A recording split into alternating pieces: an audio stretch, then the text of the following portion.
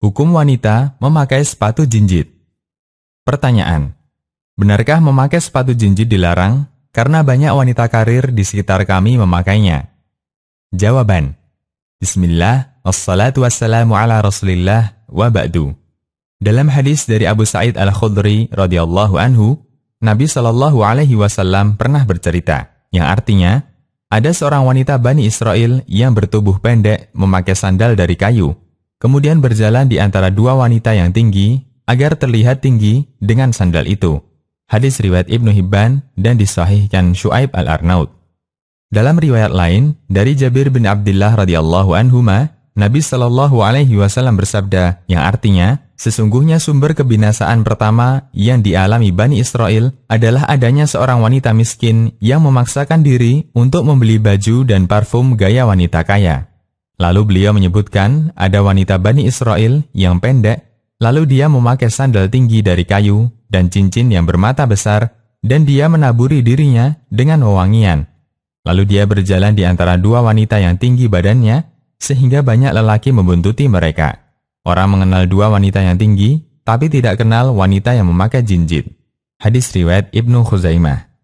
Hadis di atas menunjukkan celaan bagi wanita yang memakai alas kaki jinjit. Karena Nabi Shallallahu Alaihi Wasallam menceritakan hal di atas dalam konteks celaan.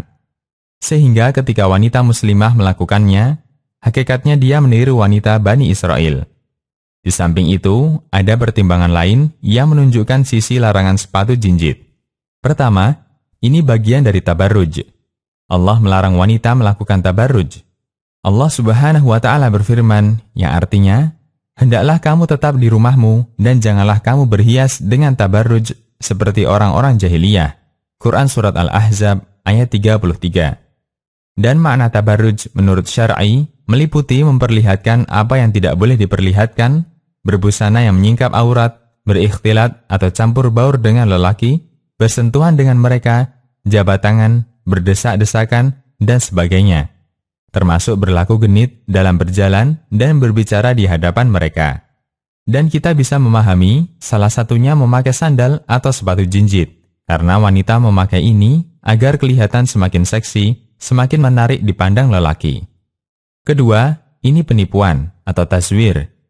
Menampakkan kenyataan tidak sesuai kondisi aslinya. Allah mencela orang yang merasa bangga dengan pujian yang tidak dia miliki. Allah Subhanahu wa taala berfirman yang artinya, "Janganlah sekali-kali kamu menyangka bahwa orang-orang yang gembira dengan apa yang telah mereka perbuat dan mereka suka dipuji terhadap perbuatan yang belum mereka kerjakan.